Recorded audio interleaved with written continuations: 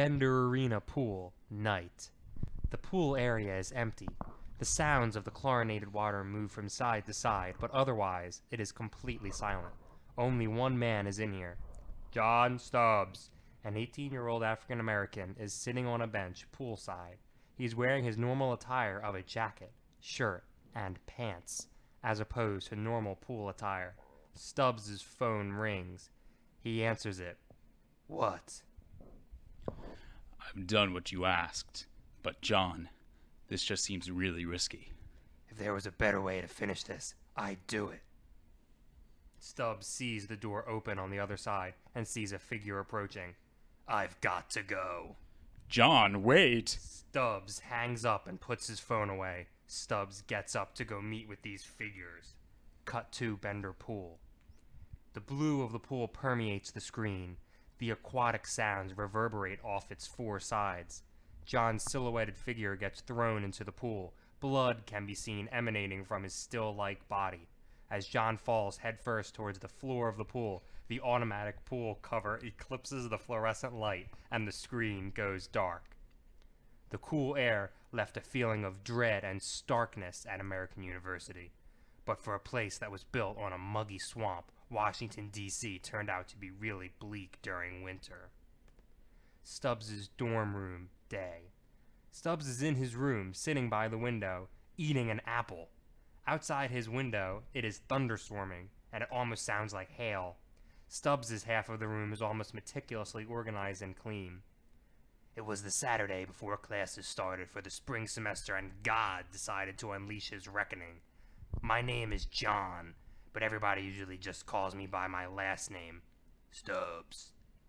The dangling of keys is heard at the door. Stubbs turns his head nonchalantly towards it. John's roommate, Birnbaum, walks in. He is absolutely soaking wet. Hey, John. Everybody, that is, except for my roommate. Hey. Birnbaum grabs a towel from inside his closet and begins to dry his hair. It sure is coming down out there. Zachary Birnbaum, altogether unremarkable individual, but a nice enough guy and a decent enough roommate. While we aren't exactly friends, we get along as little as required. However, nobody's told him that yet. I don't mind, as long as he keeps his side of the room clean. An apple? Where'd you get that? TDR isn't open. I picked some up today. Can I have one? No! Stubbs takes a bite of his apple. I bought just enough to last until TDR reopens. So I can't have one? You should have told me you wanted some. How was I supposed to know you were going to the supermarket? You didn't tell me.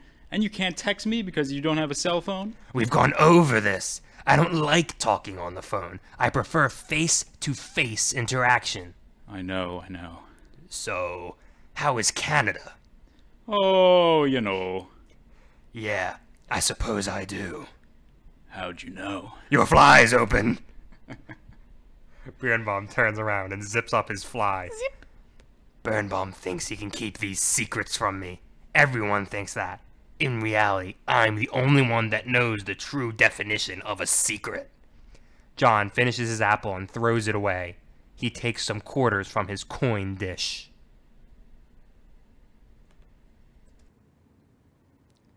Cut to Quad Day.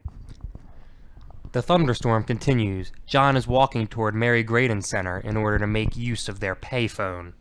John is walking with the hood on his jacket up to protect himself from the rain.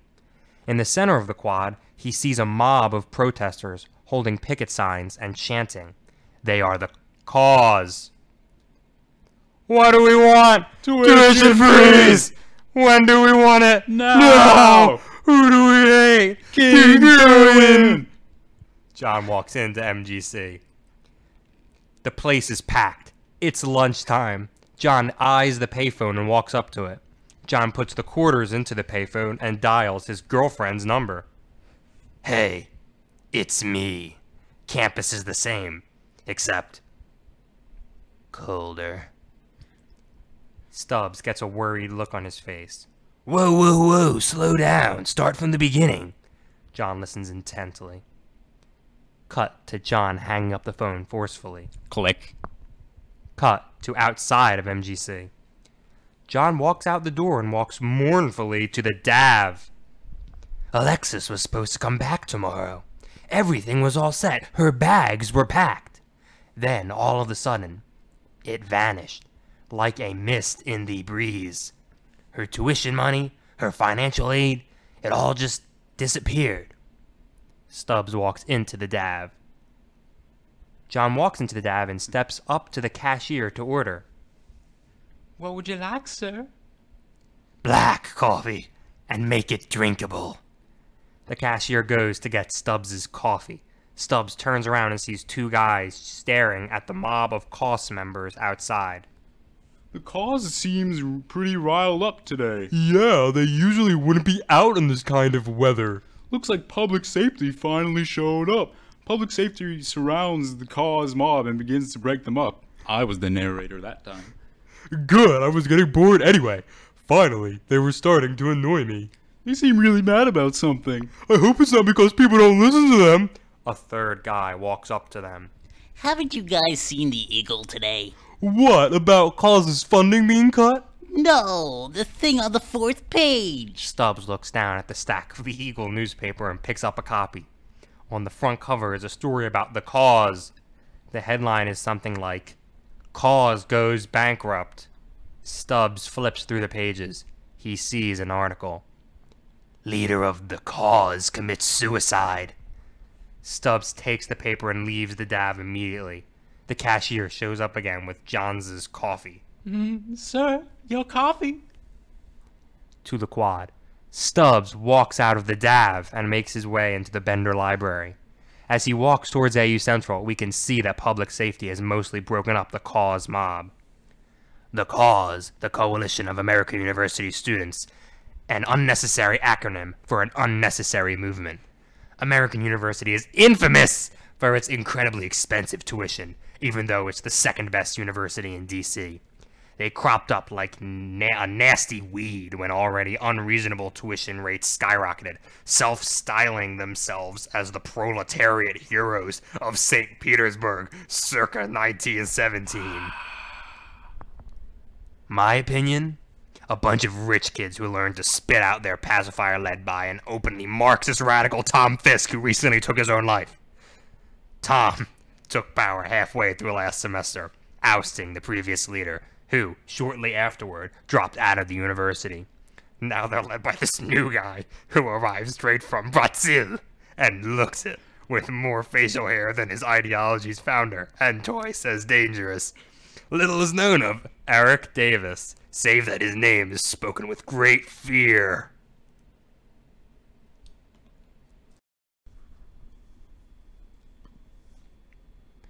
AU Central. John walks in. He approaches the woman who works there. Excuse me, is there someone here I can speak to about finances? Sure, can I have your name? John Stubbs. With two B's. Take a seat. Someone will be with you shortly. John takes a seat while the woman goes to get somebody. John reopens the newspaper and looks at the story about the cause leader. The story about the cause leader just added to my puzzlement. The past few weeks, the university seems to be hemorrhaging money. Clubs are going bankrupt faster than the rest of the country. And now, it seems that Alexis has somehow gotten roped into this.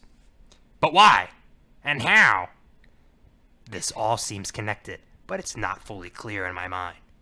An AU Central employee walks up to John. Mr. Stubbs, Yeah? You wanted to talk about financial aid? Vehemently. Step into my office. John and the AU Central worker walk into his office. John takes a seat in front of his desk. What can I help you with? Alexis Fisher! Should that mean something to me? Stubbs grabs the guy's tie and pulls him over the desk, closer to his face. It fucking should! She called me this morning and told me that she would not be returning to American University this semester. Seems all her tuition pulled at Jimmy Hoffa and didn't leave a trace. It's gone! Now I know that I'm still an undergrad, but you and I both know that 27 500 doesn't get up and walk away. Please let go. Stubbs releases him from his grasp. The AU Central worker falls back into his chair and breathes deeply, catching his breath. Now that I have your attention, I would like to receive some assistance. Certainly. What is your girlfriend's name again? Alexis Fisher. F I S H E R. The AU Central worker types into his computer. Here we go. Found her. I'm looking at her finances right now. It shows nothing there, like you said. But wait a minute. Stubbs sits up. You find something? It shows that all the money was there in full three days ago. Three days ago. Yeah. There's actually a photo of the check right here. The AU Central worker turns his monitor around and shows a photocopy of Alexis's check made out for the full $27,500 tuition. Can you print out this photo? Sure. The AU Central worker prints out the photocopy. Stubbs gets up and takes it out of the printer. Wait a second. It's gone. What's gone? The check, it's gone. Does it still say it was deposited? No, it doesn't say anything. What the hell's going on? Stubbs takes the photocopy, folds it in half, and puts it in his jacket pocket. Whatever the hell it is, I'm gonna find out. Stubbs walks out of the office. Cut to the dorm lounge five minutes later. The lounge is moderately full. Keep in mind that not all students have returned to the dorm. Birnbaum is in the lounge making tea. Stubbs walks in. Hey, John, what's up? There's something up with Alexis's tuition. What about it? It's gone. Gone. Stubbs takes the photocopy of the check out of his pocket. What's that? It's a check that, as of five minutes ago, no longer exists. What do you mean? What's going on? Something's up with the finances at this school, and somebody needs to get to the bottom of it. Let's go. Stubbs walks towards the door. Where are we going? To see the RA. Where is he? It stopped raining, so he's probably smoking.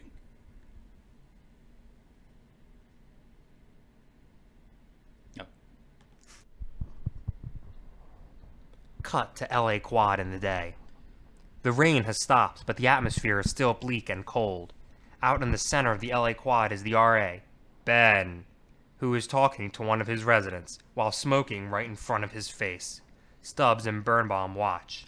I literally could not care less. You could be on fire right now, and I would not even move to save you. You are a worthless piece of shit who barely deserves to stand in my good graces. If you could even comprehend how much more important my life is than yours, you wouldn't be bothering me with your broken window. So why don't you go take your shitty little problems and go cry in your room until move out day? And if you bother me again, so help me God, I will have your window removed, you little shit. Fuck off. But it's winter. I said fuck off! The resident runs off in terror. Stubbs and Birnbaum approach Ben. Christ, can't you two see that I'm trying to smoke my way into an early grave? What are you two bothering me about? We need some help. How about no? Go away. Figure it out yourselves. Stubbs takes Ben's cigarette and throws it on the ground. You're gonna regret that, kid. How about you do your job? How about I put you on lounge cleaning duty for a week? How about I rip out what remains of your lungs and feed them to you on a spoon? Ben stands up and puffs out his chest, getting in Stubbs' face. Birnbaum gets between them. Hey guys, let's keep our heads here. Ben snorts and falls back. You're not worth the paperwork, kid. Why don't you talk to somebody that gives a shit, like your senator? Stubbs and Birnbaum glance at each other and raise their eyebrows. Thanks.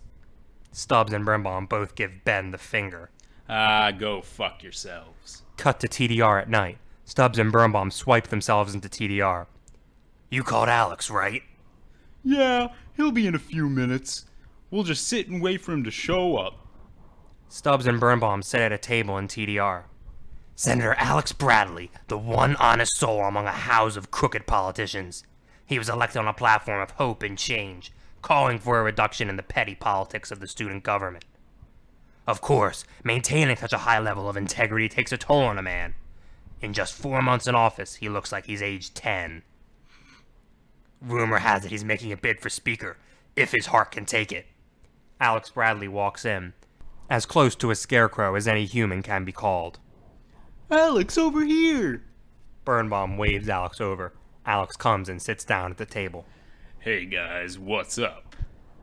We have some serious matters we need to discuss with you. Okay, guys, well, make it fast. I need to be at a political fundraiser in 20 minutes. Well, to boil it down. Money's gone missing! Money? Stubbs passes the photocopy to Alex. Alex picks it up and takes a look. That's my girlfriend's tuition check. Seems it's been removed from the school's account. As a result, she will not be attending American University this semester. Hey, I had nothing to do with this. This wasn't my department. But you know whose department it does fall under. Yes. Jack Stein. The treasurer? He oversees the university's finances. He'll know where the check went. But What? I really shouldn't tell you this. Tell us what?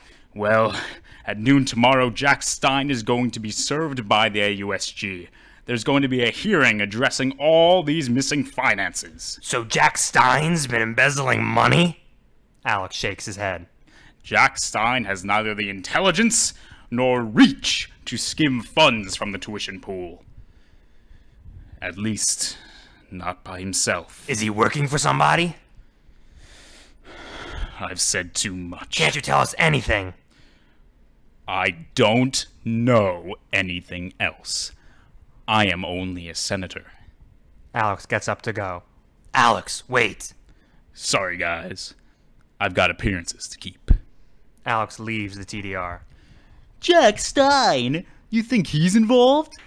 All I know is you and I are going to the hearing tomorrow. Quad the next day.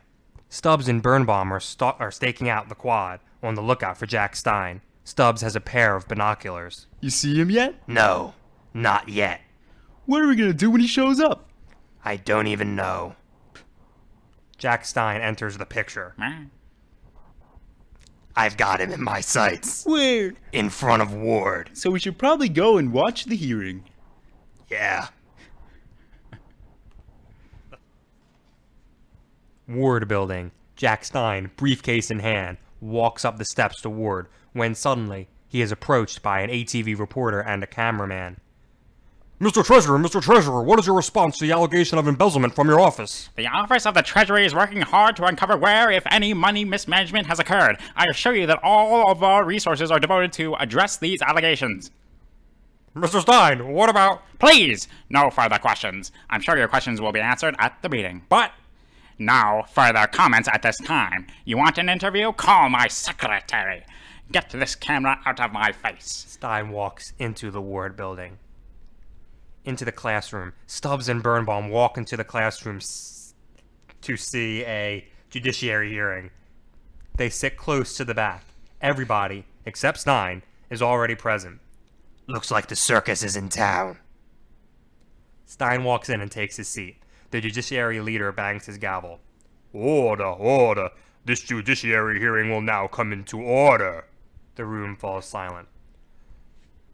On the matter of Judiciary Case 1893, I declare this hearing in session. Mr. Stein, I would like to remind you that this hearing is just that a hearing. No one is on trial here. Regardless, you are still under oath. Do you understand? I do. Good. Let us begin. First, on the matter of the missing funds, have you located where they've gone? At this time, the investigation is ongoing. However, we are unable to progress with our search due to administration and bureaucratic red tape. So, on the record, you've been unable to locate the missing funds. That is correct. This is ridiculous. It's nothing more than a show trial. Stubbs turns his head around and sees Alex Iannacio sitting in his regal splendor. Stubbs sees Iannacio whisper into somebody's ear. This certain somebody gets up and whispers something into a junior judiciary member's ear. The junior judiciary member whispers into the judiciary leader's ear. They converse for a couple of seconds. Thank you for the time, Mr. Stein. This hearing is over. Wait, what? Just like that? Just like that, welcome to AUSG. The Judiciary Board all stand to leave, as does Stein. Alex and two associates rise last, making eye contact with Stein before leaving out the back. Who's that guy? I don't know. I've never seen him before. Well, this got us nowhere. What do we do now? Let's see if we can get an audience with the treasurer. Cut to the treasurer's office. Stubbs and Birnbaum walk in and are greeted by Stein's secretary, Tori. Office of the Treasurer, how may I help you? Is the treasurer in his office? He'll be back in a couple of minutes. We'd appreciate it greatly if we could have a word with Mr. Stein. If you take a seat, he'll be here shortly. Stubbs goes to take a seat. Thank you. Birnbaum also sits down. Apparently. After a few weeks of sitting, Stein walked into the office. Tori, any messages? No, but Great. Hang up my coat. Stein throws his jacket at Tori. Stein looks at Stubbs and Birnbaum. Tori, who are these two? um, they Gentlemen, Jack Stein, pleased to meet you. And you two are? Stein extends his hand, which Birnbaum shakes. Zach Birnbaum, Anderson Hall. Anderson, good hall, great people. Stubbs just looks at Stein, refusing to shake his hand. John Stubbs. Great, great. Nice to meet you, John. Uh, why don't you two step into my office? Stein walks into his office while Birnbaum and Stubbs follow behind. Stein goes and sits at his desk. Please, gentlemen, take a seat. Stubbs and Birnbaum sit down in front of his desk. Would you two like some water? No, thank you. Well, I'm parched. Tori, Yes? can you get me some water? Now, what can I help you two with? This meeting actually pertains to the finances that have recently gone missing from the treasurer's office. Look, I already addressed those concerns at the hearing. An investigation is currently underway. We'll be getting to the bottom of this shortly. Will you? Or will you just make a good show and conclude that the money is just gone, pack up your stuff, and go run for some other office? I think we have a bit of a misunderstanding. Yes, I think so. You misunderstand me. Unlike you, I will be getting to the bottom of this. I am the treasurer. You cannot talk to me like this. Well, so far, Mr. Treasurer, you've been doing a pretty lousy job.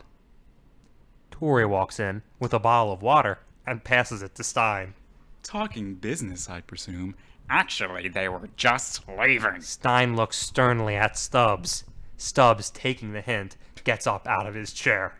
Come on, Birnbaum, let's go. Birnbaum also gets up out of his chair. Thank you for taking the time to see us, Mr. Treasurer. No problem. Remember, this when it comes to election time. Stein takes a sip of his water as Stubbs and Birnbaum make their exit. There's a call from Mr. Rucker on line two. Oh, right. Lunch. Stein picks up the phone. Cut to outside of Stein's office building. Stubbs and Birnbaum leave the building downtrodden. Well, what do we do now? That meeting was such a waste of our time. He's a Class A douchebag. Maybe he's just under a lot of stress. Stubbs dismisses this comment. I mean, look at his hair. Gray at 19? Jesus. He's hiding something. Well, how do we find what he's hidden? Stubbs takes his ID card out of his pocket. The old fashioned way. Whoa, whoa, whoa. Where are you going? His room. You're breaking in? Unless you got a better idea. I'm not being a part of this. Good. I prefer to do this alone. I'll meet you at the tavern at 10. Ah, tenders. Tenders. Cut to Stein's dorm building. Day. Stubbs walks up the building, right up behind some other person. The other person swipes in, while Stubbs follows closely behind. Cut to Stein's dorm building. Stubbs flashes his ID at the RA, who couldn't be more uninterested. Stubbs places his ID back into his pocket and makes his way into the elevator, which he then gets on. Stubbs walks through the various floors looking for Stein's room. Stubbs finally comes across the door. Stubbs knocks on it to make sure that nobody is in the room. Hello?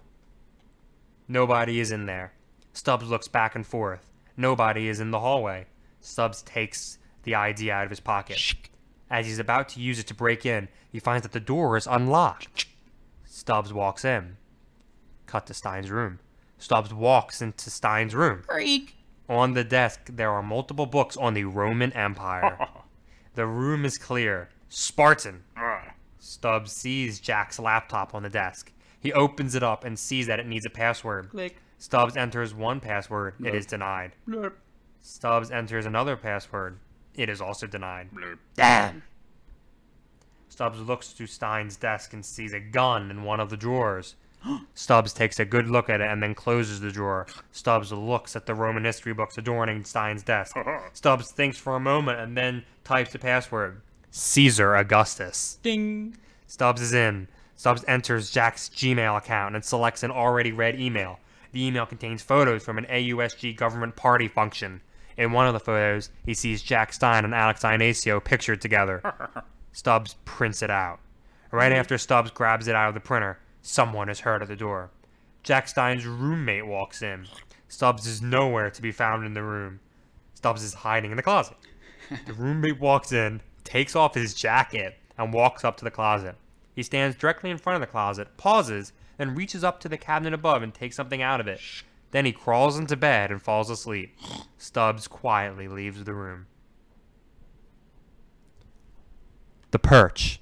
Alex Bradley is just chilling in The Perch.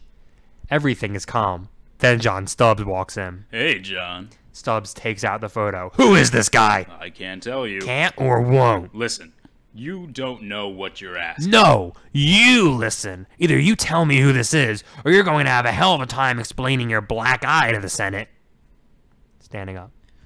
I'm a senator of the student government, and I will not stand. Stubbs strikes Alex in the leg, ah! grabbing him by the neck and slamming him against the desk. Ooh.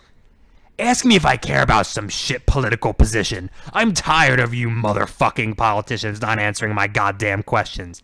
Now I ask again who is he? Fine, just let me go, please. Promise? Promise. Stubbs releases Alex, who starts to massage his neck. What I'm about to tell you is absolutely true. This is a truth claim. There will not be a word of hyperbole in anything that I say.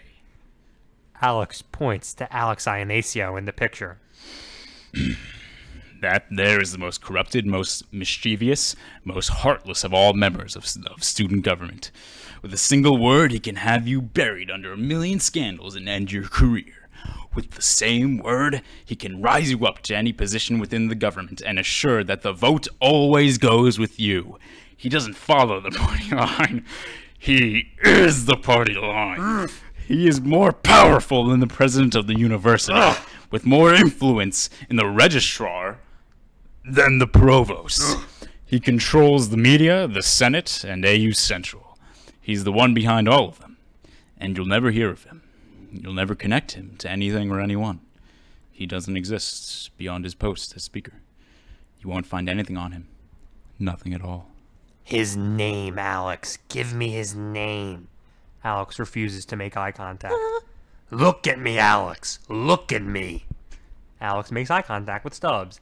Tell me his name.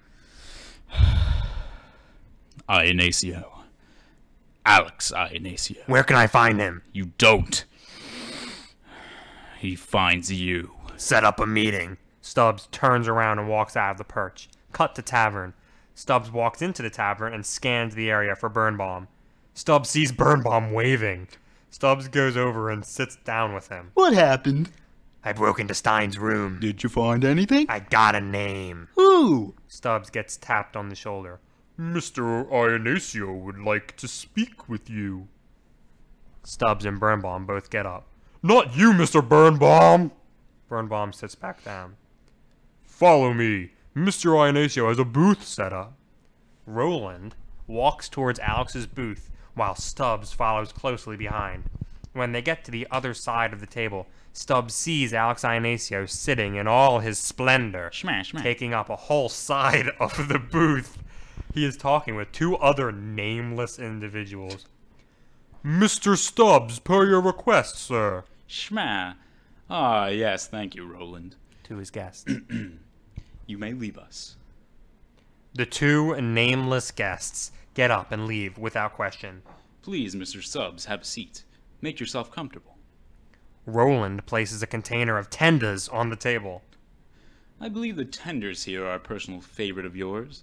I personally have never tried them. I don't intend to. In fact, I don't intender to. This isn't my type of establishment, but it is on campus, which makes it convenient for conducting business. Stubbs opens the container. Please, go ahead by all means. I'm sure you must be hungry. You've had quite a busy day. Iannacio takes out a manila folder.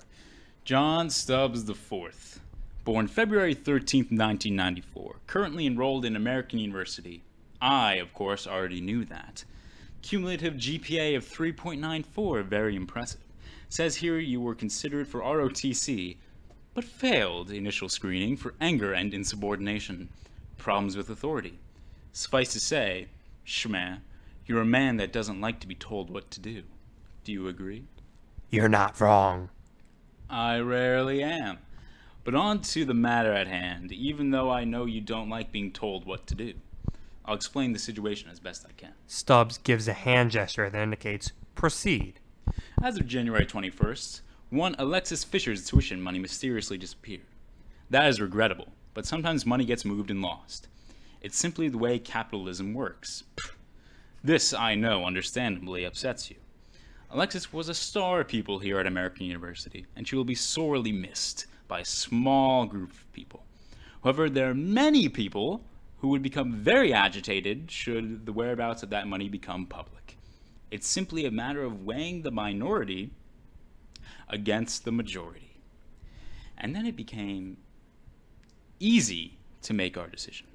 Sorry, a tender was lodged in my throat. As such, I think I can offer you a fair compromise we can both agree on. We are, after all, businessmen. Even though neither of them are businessmen, Iannacio passes a piece of paper over the table to Stubbs. I'll continue talking. That there is a letter of acceptance from George Washington University for the fall semester, with a full scholarship, all entitled to one Alexis Fisher. She stays here in the city, nobody goes looking for the missing money, and everyone comes out smelling like roses. Or Paul Wells on a Sunday. A very generous offer from your true from your truly considering it's not entirely tax deductible? I believe he meant yours truly. Stubbs takes a look at the paper. After examining it, he tears it in two and tosses it aside. I will continue talking again. Shall I take that as a refusal of my very generous offer? Where's the money? Tell me and maybe I won't break both your legs, you slimy son of a bitch. Now, before you do anything hasty, you should be aware that my close friend, Roland, hmm? is listening to this entire conversation. It would be very distressing for him to hear that you attempted to injure me. The last time Roland was so distressed, he drove a Humvee through his ROTC headquarters. A messy incident that took, that took weeks to cover up, but in the end, we reached a very amicable agreement.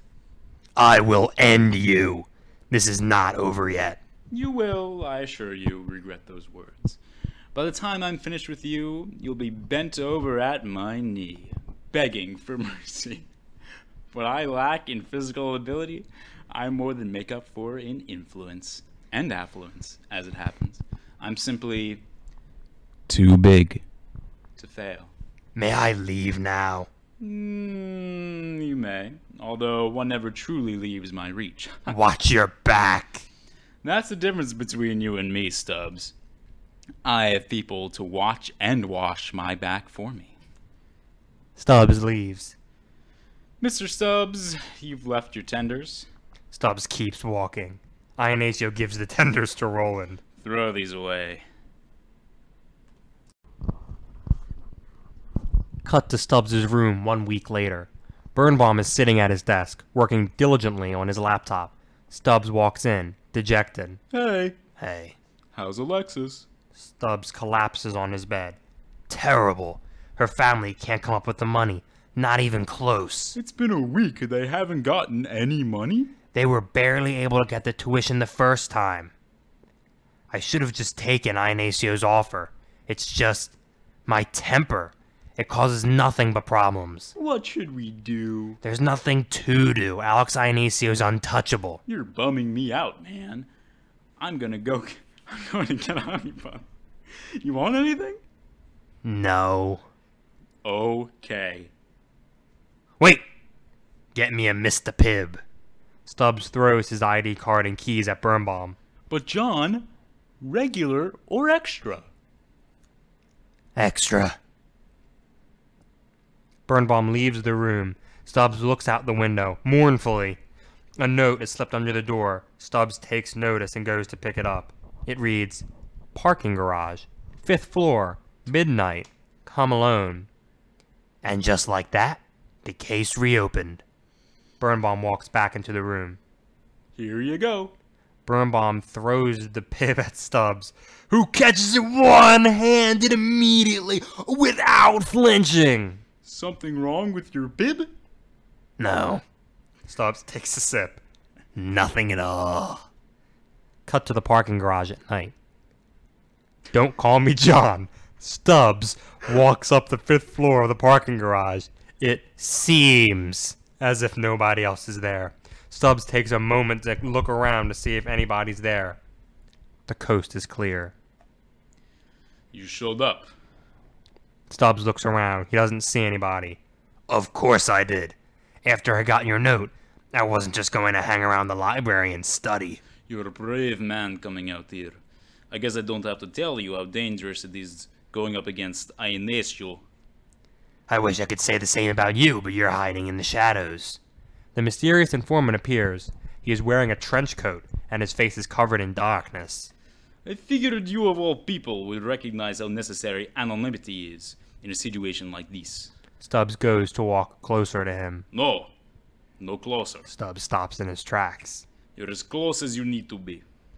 Okay, what do you want to talk about? I have a lead for you. A lead? The informant takes out a manila folder. He places it on the floor of the parking garage. For after I've made my exit, Who is it? I won't tell you. You won't. Iannacio's got ears everywhere. You serious? I'm not the kind that would want to take the risk. Although I take all rumors about Alex Iannacio with a shaker of salt. Who are you? What did Iannacio do to you? The same thing he does to everybody if you're not careful. He destroys you, and suddenly you're erased from the history of this university. He takes an ideology and twists it, exploits it for his own gain.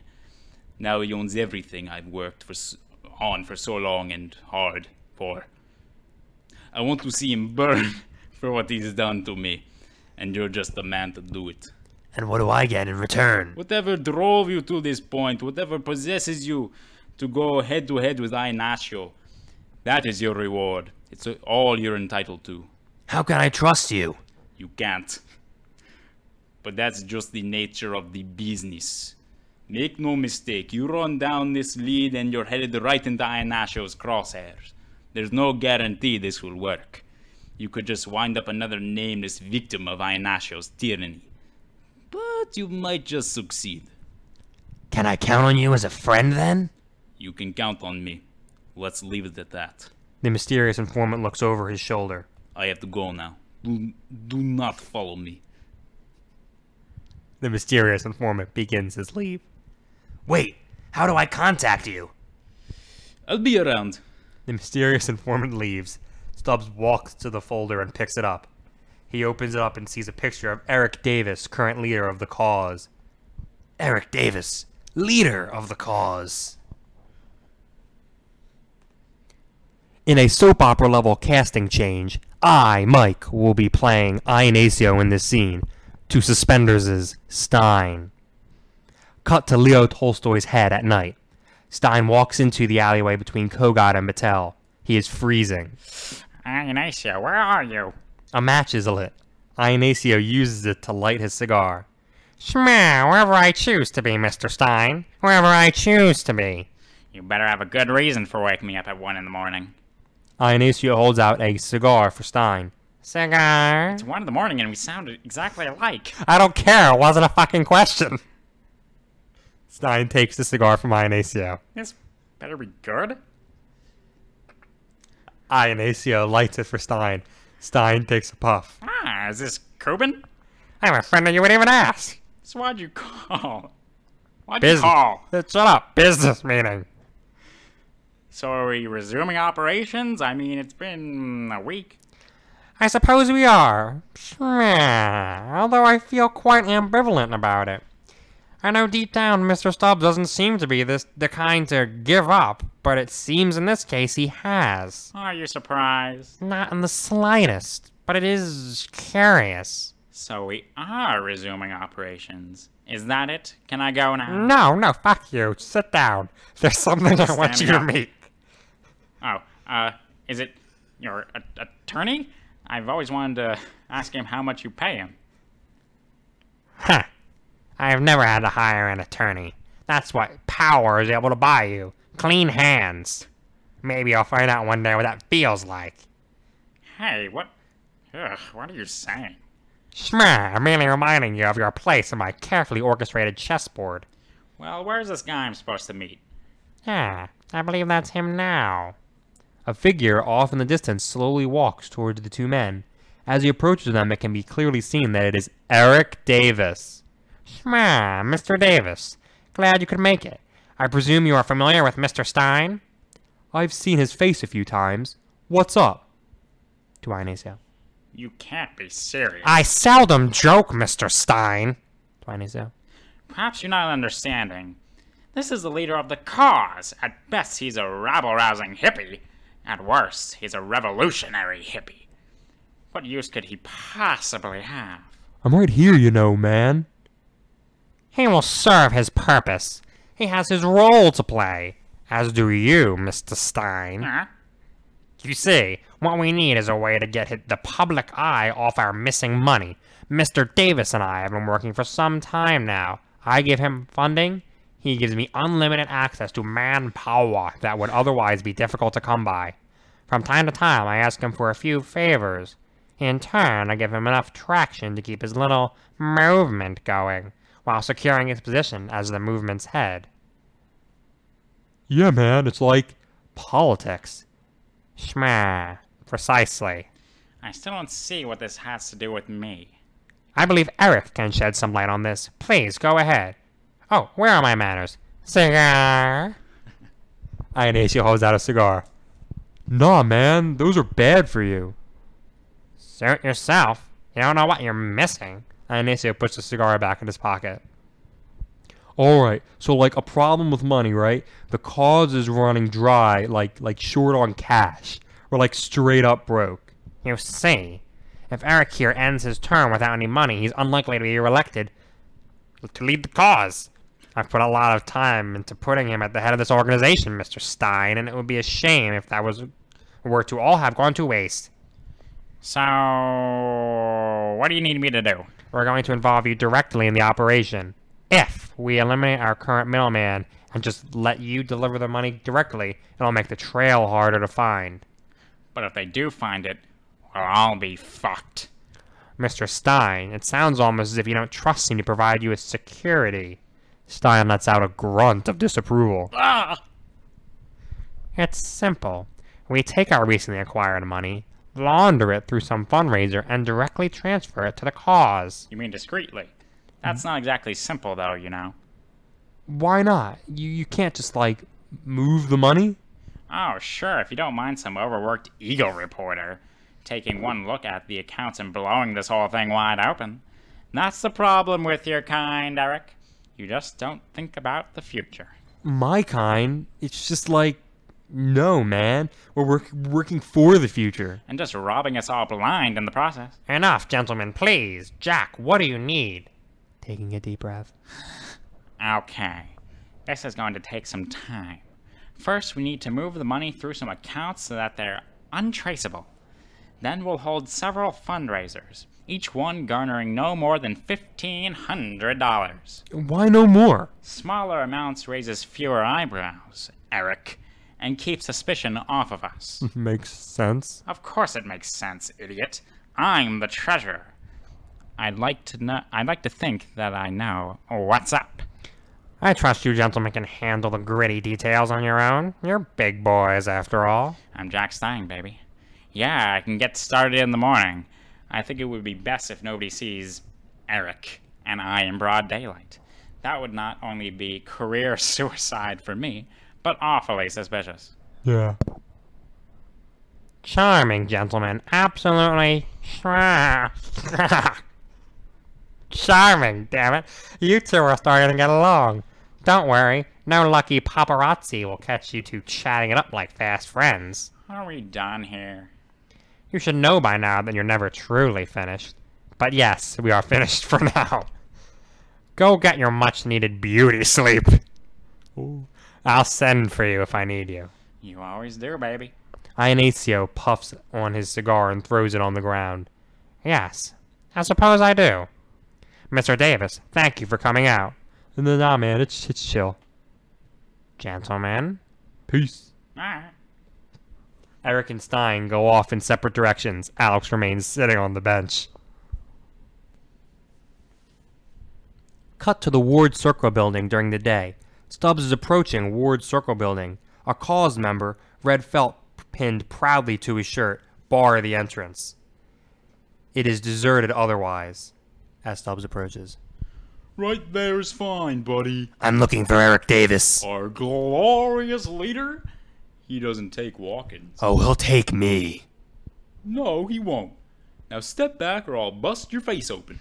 Why don't you go on up to your glorious leader and tell him that John Stubbs is here to see him? Did you just say John Stubbs? Did I stutter? The cause hippie goes off somewhere. Wait here. I don't have all day. I've got class in Watkins at 110. The hell is that? The hippie returns at a few moments later. Our leader has opened up his uh, schedule and worked you in. So can I see him? You may proceed. Follow me, sir. The cause hippie leads Stubbs into the Ward Circle building, cut into Eric's office. Cause hippie leads Stubbs into Eric's office. John Stubbs. Eric waves him in. Stubbs walks into his office. Eric is busily shuffling papers. His desk is a disorganized mess. Sup, Stubbs? I'm like really busy. Can we make this fast? Sure. This won't take long. What do you know about the recently lost money in the AUSG? All I really know is that my bank account was drained as well. Wait, what? Yeah, one semester we've got funds to hold a dozen rallies. This semester we're lucky if we get to run a protest. I've got my people running down leads as to where it went, but nothing's come up. The money's just like disappeared. Well, perhaps we can help each other out. How's that? I've been led to believe that you know more about this situation than you lead on. Who'd you hear that from? I can't tell you. Well, I'll try to help you in any way I can. You can start by answering a few questions. Are you familiar with Alex Iannacio? Speaker of the AUSG, right? Officially. But he's involved with way more than just simple student government. I believe he's the one who stole the money. Really?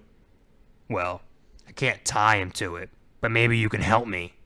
Maybe we can help each other out. I'll look into this Iannacio connection, you know? But I could use a hand with something. I think it might be a lead. What is it? A, a place. Eric passes Stubbs a note. Stubbs leaves and Eric picks up the phone. He's on his way. Cut to behind the Beeghly Chemistry Building. Stubbs walks around back through the, bu- the bushes.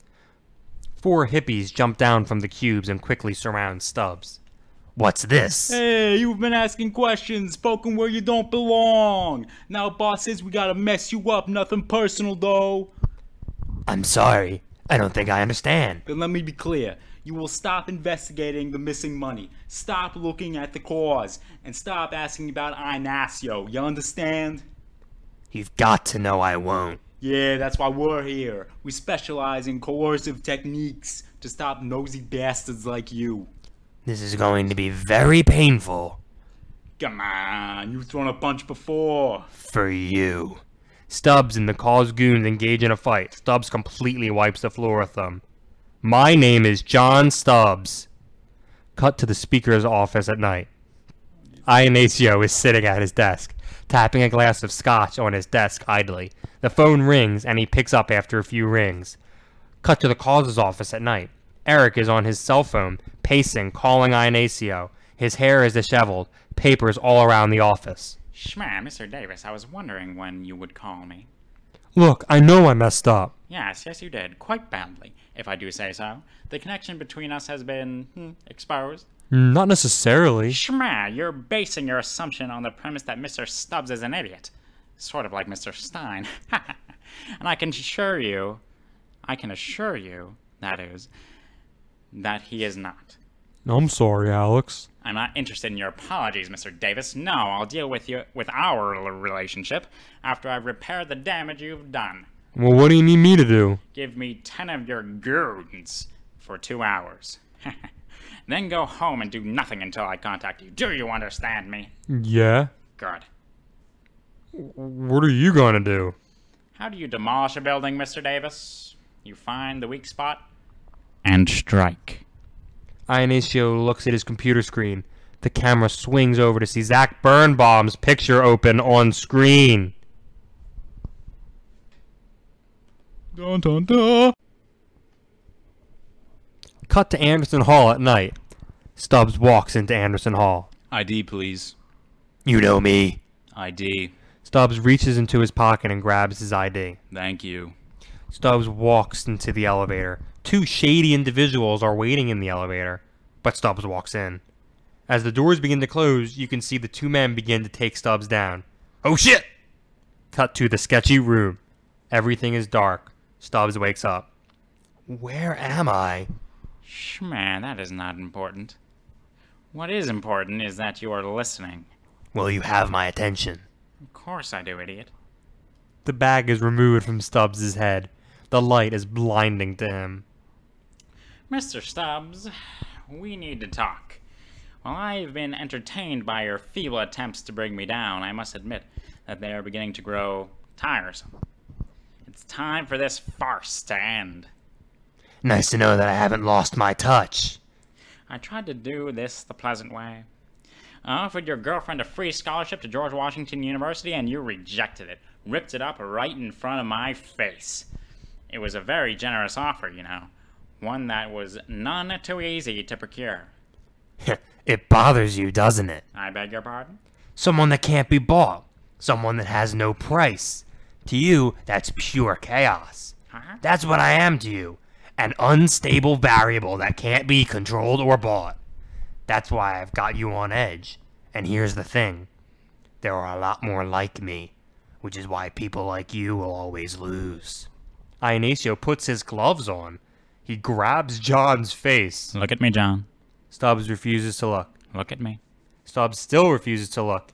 Iannacio releases his grasp. Do you have any idea what it's like, Mr. Stubbs? To be the puppeteer controlling all the marionettes? All the strings moving perfectly according to his design?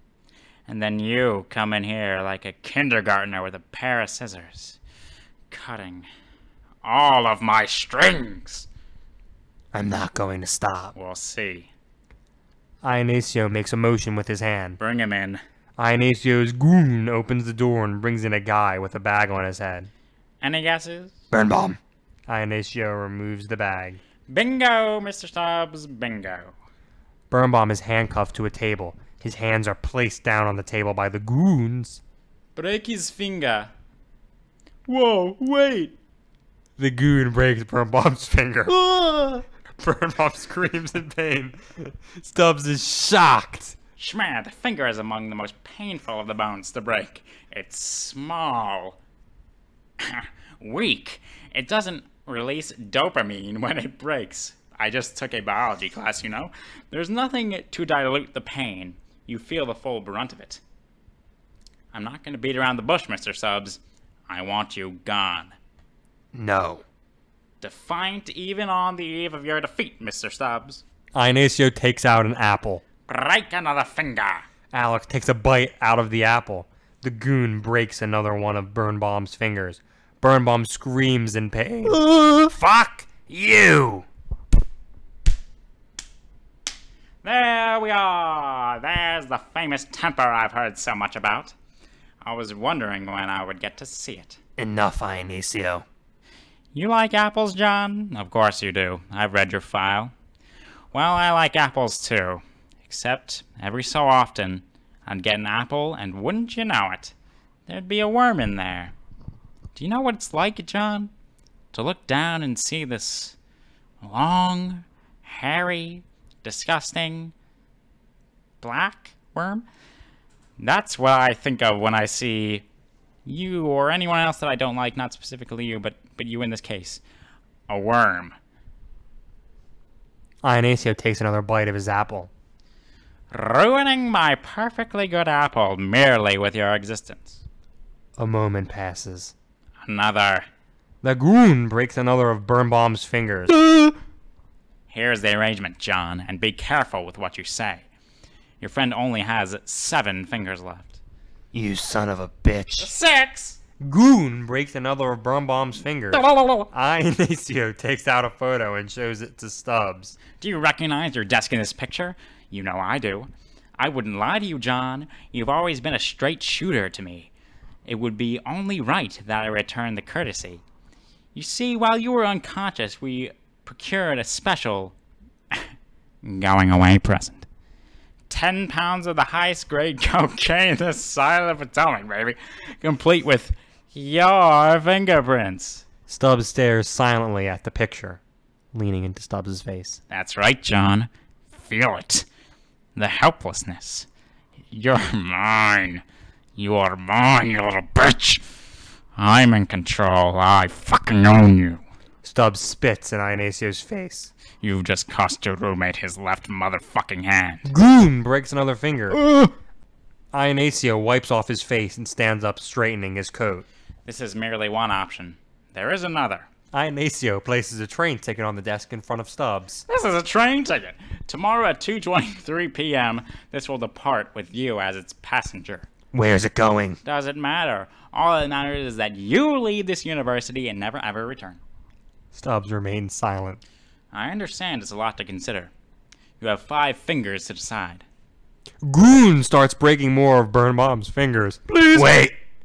The goon stops. I'll leave. Excellent. Smash, smash. Glad we could come to an understanding. Release Mr. Birnbaum and make sure he gets some medical attention. Birnbaum is escorted out of the room. Thank you. I'm glad you could see this my way, John. I think you now understand that I always get what I want.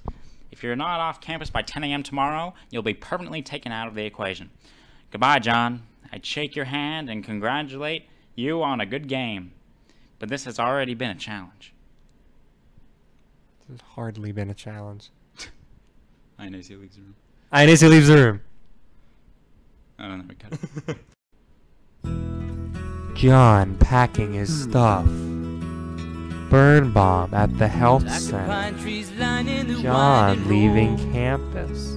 I've got a Stein in his I've office. got a name. John at the metro station. Like Drug deals commencing.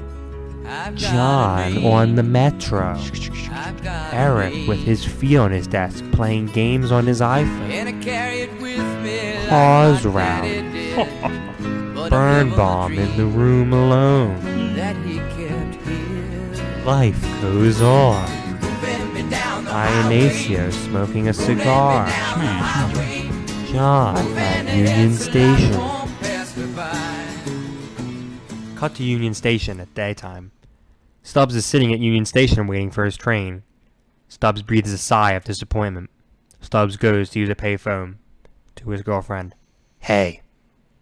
No, I'm headed home. I, I can't talk about it right now. I'll call you when I get home. No, I'm fine. Really. Okay. I love you. Talk to you soon. Stubbs goes back to his seat. His neighbor, Chris, starts a conversation with him. You okay, pal? You seem a little distraught. I've been having a rough week. Haven't we all? A moment passes. Where are you headed? Doesn't matter. I suppose you're right. All that really matters is where we've been. Turning to face Chris. Do I know you or something? Everybody used to know me. I was a household name before it was tarnished. Used to be a time when I was riding the wave of progress. Now I'm waiting on the boat of time. What the fuck does that even mean? It means you're not finished yet, John. Standing up. How the fuck do you know my name? I've known who you are for a while now. I know you're my only hope left to retake what was once mine. I don't know what you're talking about. If you get on that train, he wins. If you don't want him to win, follow me. Why not here? Someone might be listening. Chris gets up and leaves Stubbs sitting in contemplation. After a moment or two, Stubbs gets up to look for him. Cut to the National Mall. Stubbs and Chris are walking together near the Washington Monument. Oh, oh, I'm glad you came. Stubbs remains silent. You still don't remember who I am for some reason, do you? No. I must be getting good at it then. The parking garage, late at night, American universities. I put you on Eric Davis's tail. I don't know why you decided to reveal yourself, but anyway, that was you? You can call me Christoph. I made the, the cause. I took an idea, a notion, and stirred up anger about it. It's like stolen, you know. Then I seized that anger and made a movement dedicated to bringing equality to an unequal system. Flashback montage of cause events. Power begets power. The cause was on the rise, change on the horizon. We knew the ends, we just needed the means. I made the decision to suck from the teeth of greed. I made a deal with the devil, and my soul has been taken in return. When I spoke out, I was disposed of, another put in my place. Iannacio was using my foot soldiers to move his drugs around the city. When I spoke out against it, he had me replaced. When that wasn't enough, he had me kicked out of the universities in disgrace. Now I'm working three jobs just to make ends meet here in this city. Return to Crescent Stubbs. Bleh! I want to suck your blood. Now you understand who I am. Iannacio is like a poison. He kills all he consumes. And when he's finished with one spot, he moves on. And that's what he's going to do. Move on. In a year, nobody will know who Alex Iannacio even was. All they'll see is a campus wrecked by corruption and greed. But he'll be gone, leaving good, honest people to take the fall. That's a nice speech, but it doesn't help me. If you're not prepared to do what is necessary, then perhaps you're not the man I thought you were. I have a few loyal men still in the cause. Iannacio's skipping town, but not without his money. I thought he has all the money he needs. Last time I checked, he could afford to buy this whole damn city. Snorts in amusement. It's not about the money, it's about his pride. If he walks away without that money, then why embezzle it at all? No, his pride won't let him leave without it. That's how you'll get him. His pride. His hubris. When he falls, it'll be because he couldn't let himself lose one cent. That's all fine, but I still don't see it. I've been working on an operation of my own. Something that'll hurt him where it counts. His wallet. You remember Eric Davis, don't you? Of course, you brought him to my attention. We've been working together to bring down Iannacio's empire. Eric's been skimming money off the side this whole time and been saving it up for a rainy day. You're the ones that have been taking money from the school? Yes, anyway, but it was necessary. If we didn't, we wouldn't be able to stop Iannacio in his reign of terror. So, you were the ones that stole my girlfriend's tuition money. No, no, that wasn't us. That was Iannacio. Okay, you have 10 seconds to explain yourself. Look, when Tom Fisk was in charge, Iannacio realized he couldn't be controlled. Even I admit, Tom was a bit of a loose cannon. Iannacio decided that it would be better to take him out of the picture entirely. And he had him killed. What does that have to do with my girlfriend? Well, after Iannacio had Tom killed, he figured he could make an extra $27,000, whatever the fuck this number is, by taking Tom's tuition money. I mean, your girlfriend's, I guess. He figured, who would notice or care? Unfortunately, Iannacio made a mistake. Chris takes out a sheet of paper that has a list of names in alphabetical order.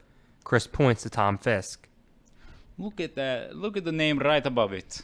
Alexis Fisher. Your girlfriend. So my girlfriend's money got stolen only because she's right before some guy in the school roster? The only reason. What the fuck? A moment of silence passes between the two of them. So what do you want me to do? End it. What? Iannacio, he's got to go down. Why can't uh, he? We can't let him get away. We have to end it. How? Chris hands Stubbs a shoebox. What's this? Open it. Stubbs lifts up the lid. Inside, he sees a gun. Stubbs shuts the lid quickly. What the hell, man? He has to be stopped. Not like this. Let the cops handle it. You and I both know that won't work. The long arm of the law is extremely susceptible to the money in his pocket. I can't do this. Yes, you can. Why? Why? Why the fuck do you mean why? Why am I putting. Why am I the one putting my life on the line for this? This isn't about you, you little bitch. This is about the cause. Man, fuck the cause. What did you say? I said, fuck the cause. Chris pushes Stubbs away, slamming him against the tree. Who the fuck are you? What did I initial do to you? So, what is so your girlfriend's fucking money? He destroyed me and everything I worked for. And now he destroyed you. Except you've got a chance to do what I couldn't. You still have a chance to fight wrongs, fix injustices. And you're bitching about the banner you're fighting under. Man, step back. Look at the bigger picture. If you don't do this, Iannacio's just going to go on and do the same thing to the next poor son of a bitch who gets in his crosshairs. A boy would walk away right now and head back to Union Station to make that train. A man, a man would take his gun, press it against that bourgeois blue blood fucker's forehead, and pull that fucking trigger.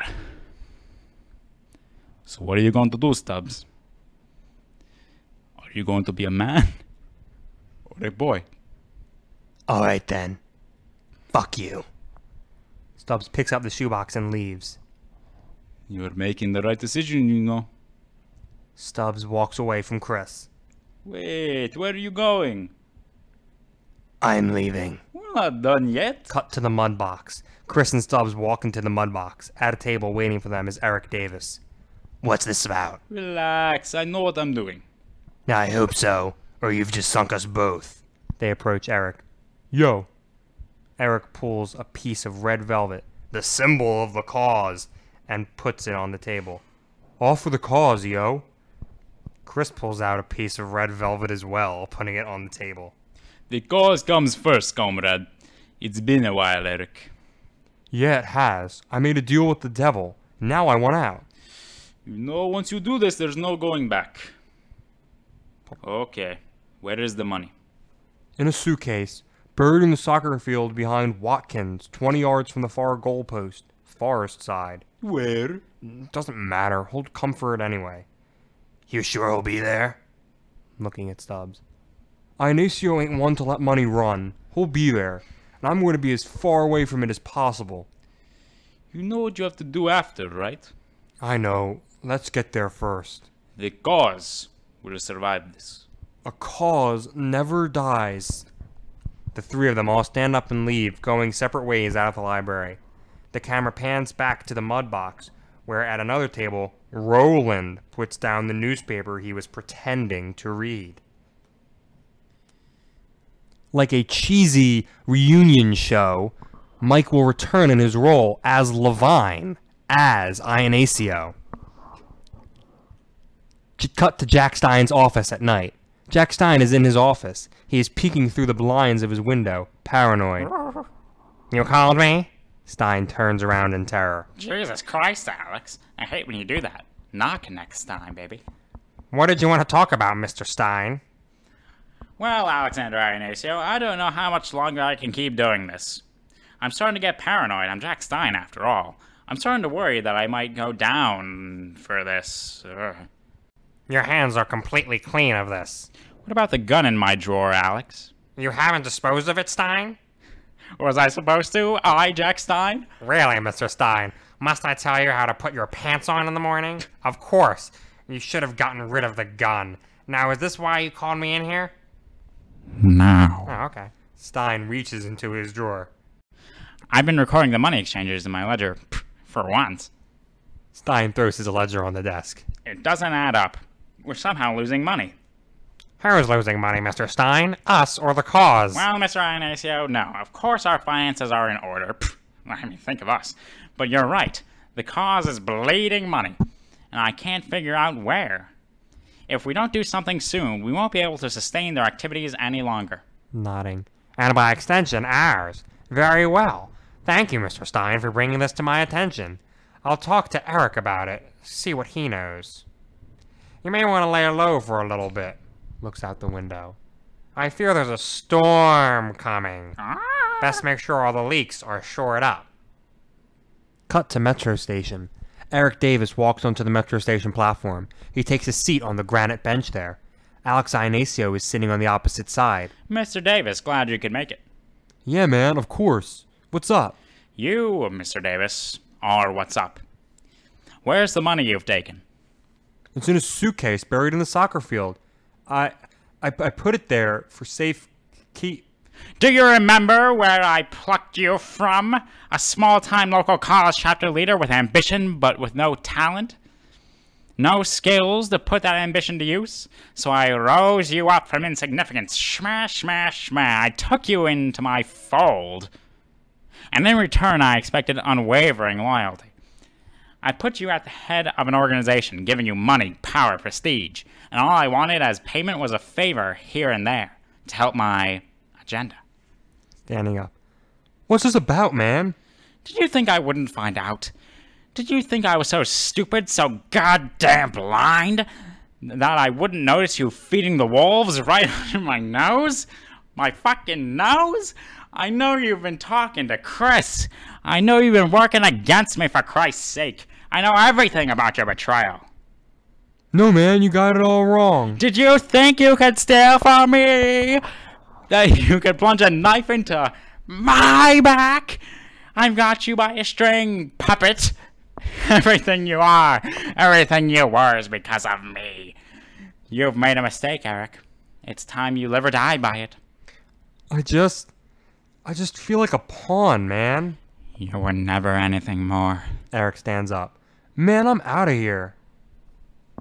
The metro train is seen coming through the tunnel. As Eric begins to walk away, Iannacio pushes him onto the track like in some TV show on Netflix. The train pulls in and kills Eric like that girl on that TV show in Netflix. Iannacio, realizing what he has just done, makes him leave from the metro station with a certain amount of haste as a shocked crowd begins to form. Cut to Stubbs' dorm room during the day. Stubbs is on the phone. Listen, I've been thinking. Iannacio isn't going to come. In a different location. The hell he won't. No, he's not stupid. He'll smell a trap. He's going to need to think I'm gone. Thinking I've left the city isn't enough. He needs to think I'm dead. No, no, I don't think this is a good idea at all. I wasn't asking your permission, though.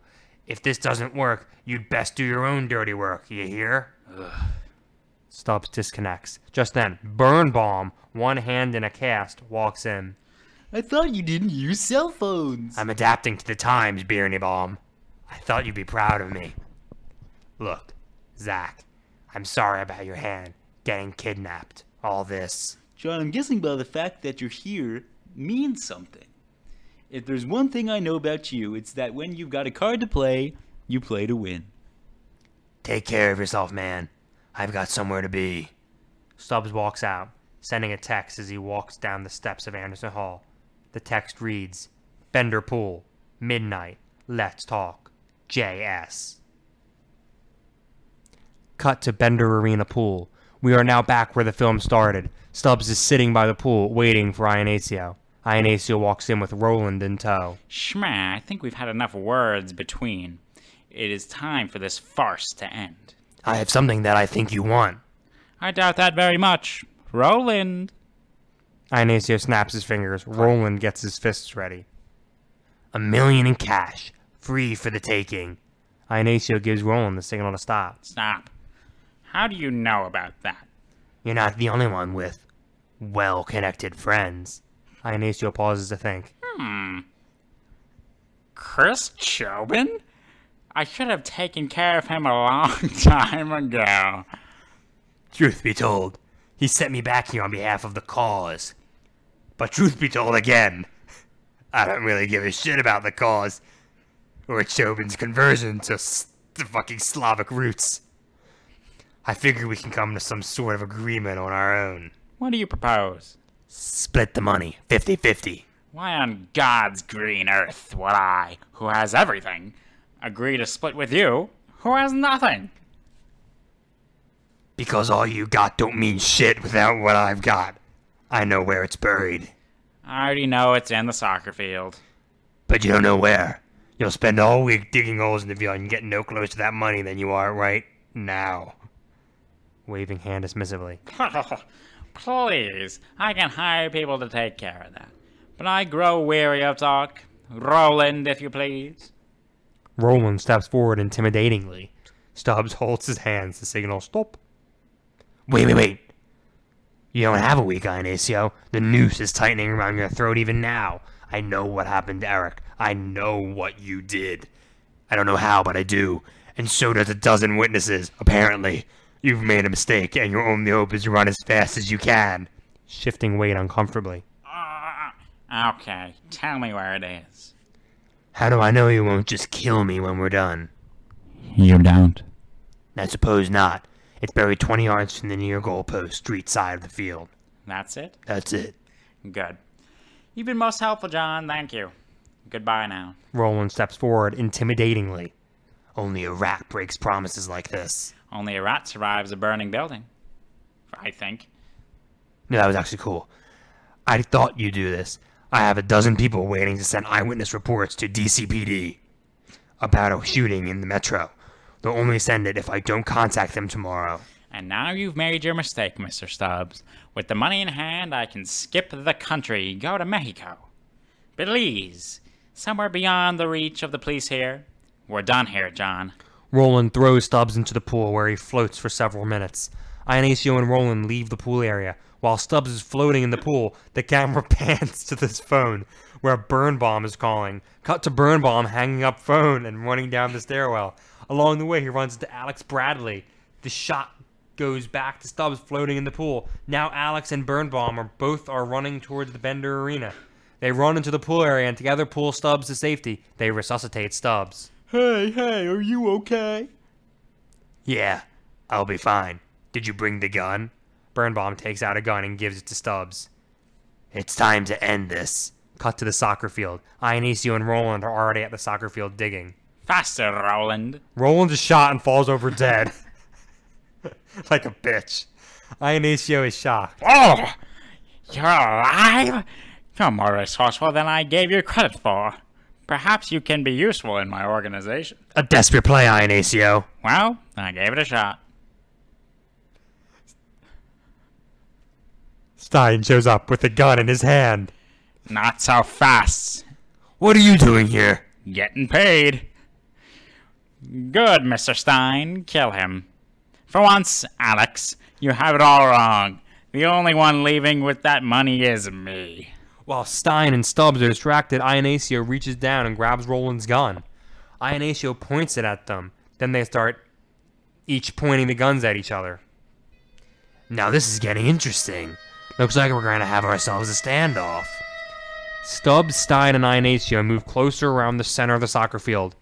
They intensely stare at each other, holding their weapons, while, Duello Finale by Ennio Morricone plays on the soundtrack. The standoff reaches a climax when Stubbs shoots Iannacio dead.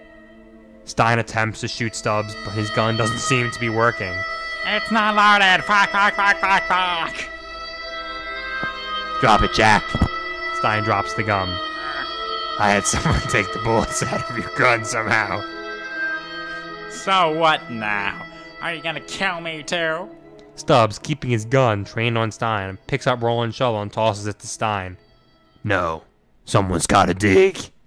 Stein picks up the shovel and starts to continue digging where Roland had started, but Stubbs orders him to stop, Not there. gesturing with his gun. Over there. Stein, pointing at Iannacio's and Roland's body, says, What about them? I'll take care of them. Chris is shown in a nondescript coffee shop, not Starbucks. His phone goes off. He looks down at a text message reading, Done. Chris looks up at the two cause members standing on opposite side of the shop. He nods at them, and they stand up and leave the building. Birnbaum is talking to Stubbs on the phone. Birnbaum is reading the Eagle, while cutaways to the mentioned events are shown. Man, John, you don't know what you've done. They've blown the lid wide open on this one.